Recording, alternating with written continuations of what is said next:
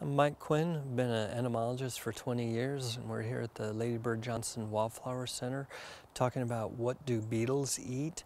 Well, there's over 300,000 species of beetles in the world and they eat just about anything that's organic. They'll eat uh, dead wood, um, they'll eat uh, plant material, they'll eat pollen, they'll eat nectar, um, they'll eat uh, living trees, dead trees, they'll eat um, dung, they'll uh, scavenge on uh, carcasses, they'll um, feed on uh, food in our cabinets.